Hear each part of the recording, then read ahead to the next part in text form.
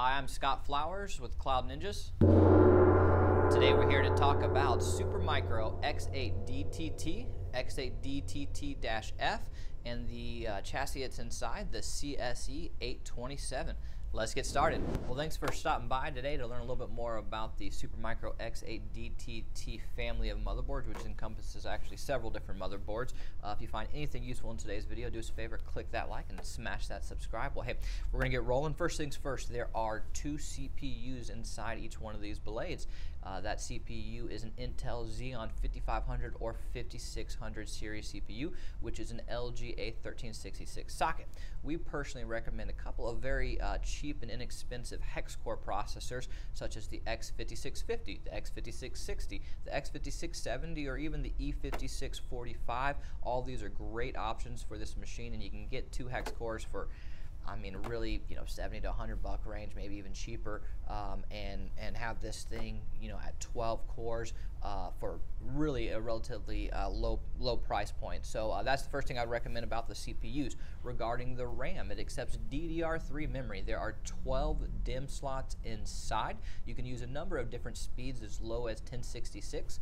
1333 or up to 1600. I will note, however, if you use 1600, it's going to clock down to 1333. So if it costs you more, there's no added benefits. If it costs the same, I actually would recommend getting it because maybe you can use it in the future. Uh, but or if you just even have some laying around, uh, the 1600s will work. But again, just note they will clock down to 1333.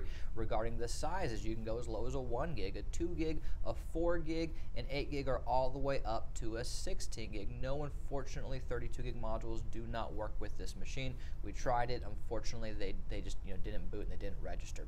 Okay, as far as the type of RAM you can use, there's really one type of RAM, and that's ECC registered. Unfortunately, uh, load reduced, uh, known as LRDIMMs, don't work. Your only option is ECC registered, known as an RDIMM.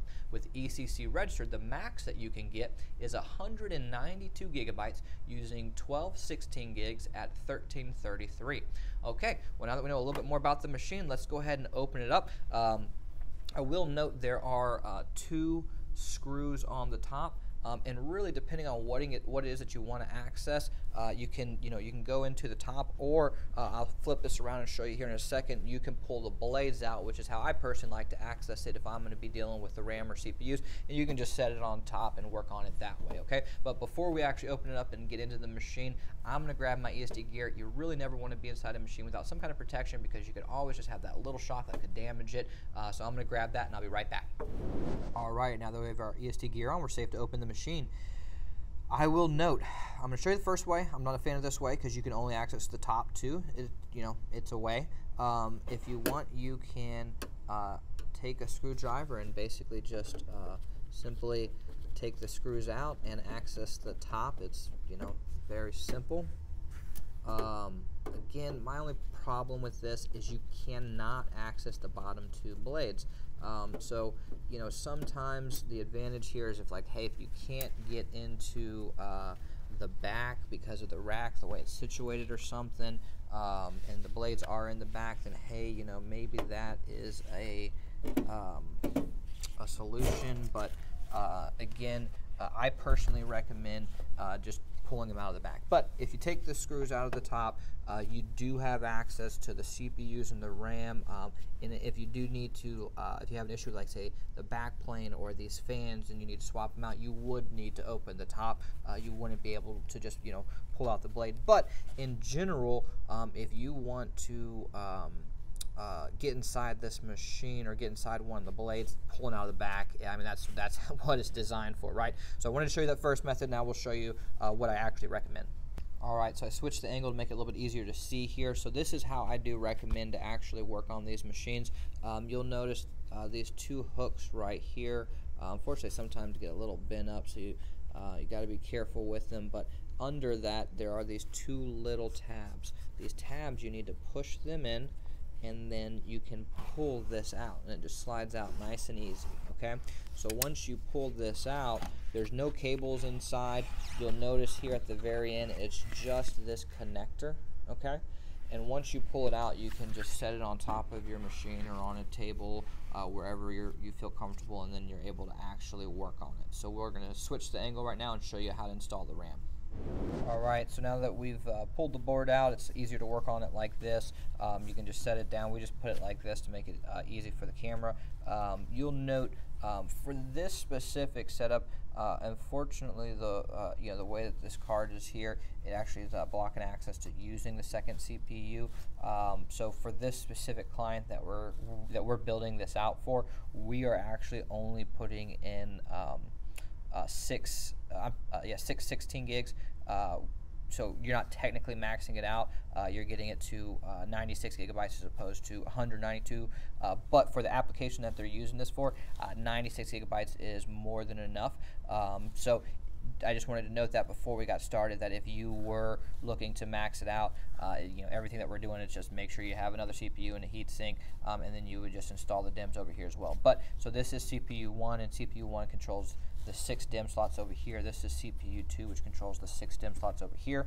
Uh, this is important to note uh, in a situation like this, for instance, where you're only using one CPU, you need to make sure all the modules are over here. Let's say if I were to put um, you know, three over here and three over here, uh, these three wouldn't even register because they're only with CPU2. Okay, so uh, just some simple things that I wanted to, to point out just to make sure that uh, you know everyone is um, uh, using the machines properly. So um, I would also like to note that uh, CPU 1 has six DIMM slots. Uh, of the six DIMM slots, there are three memory channels, and each memory channel has two DIMM slots per channel, okay? So when I get started, one of the first things that I like to do, and this is a tip that I always tell everybody, and it's, it's a real simple, easy thing, just make sure all your tabs are open. You don't want to be trying to install RAM uh, and the tabs are actually blocking you from inserting it, and you're fumbling around, and you have potential to drop it. Not that you likely will, but uh, it could happen. So it's just one of those things I always just say: make sure all your tabs are open. Okay. Um, the next thing that I want to point out, um, there is a key um, right here, this notch that you see in the middle of the leads, this key is very important on the module because uh, the key is not perfectly centered. So when you go to insert this module into the tab, I'm sorry, into the slot, you need to make sure it's lined up properly because if it's not lined up properly, you could potentially damage the lead and, and break the module, or you could damage the DIMM slot and means that you might have to replace the whole motherboard uh, because these are all soldered in. So uh, it, neither are situations that you know you want to run into. So you just need to make sure you line it up properly. So in this case, we want to line it up like this, okay? Um, and if you were only putting in, let's just say, uh, three DIMMs with this one CPU, you'd want to make sure you put them at the start of the channel, um, and the start of the channel is the black DIMM slot, okay?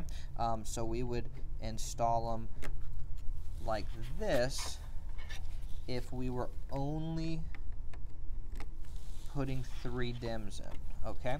Now, of course, uh, I recommend uh, maxing it out, and uh, which is what we're about to do for it, having one CPU, um, and we're going to put all six in, but this would be the proper way to load it if you were only uh, using three DIMMs. And people go, well, why do you do it like that? Well, the reason why is you want to have a nice even distribution um, across uh, all the memory channels. You just want to balance your, your, your, load. It just maximizes your performance. Uh, and the reason being, think of it like this. If you overload one channel and, and, another channel is doing no work, you got one channel doing all the work and another channel doing nothing, well, you're not getting the most out of it, right? So you need to just balance it out completely, okay? Another thing you'll note, I'm not touching any of these modules.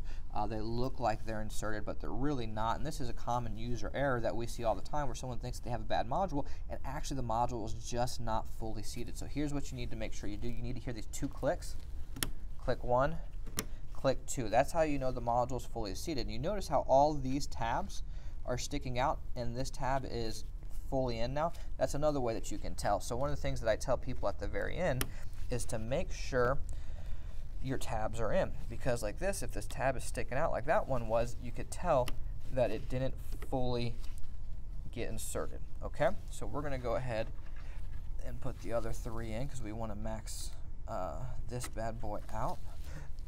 So again, just making sure you're hearing the clicks. Make sure you line it up properly. It's all very, very simple stuff. Um, I don't care if this is your first day on the job or you've been a computer technician 20 years. This is all uh, fairly easy to do. Okay. So all right, now that we are done, you can see we've you know uh, just given this a nice boost. It's up to 96 gigabytes. Uh, like I said, you could get 192 if you had the second CPU installed. Uh, and really, it, it, took a matter of minutes. Really, you just pull it out, you pop them in, and you're done. So uh, it's, it's, a very simple upgrade.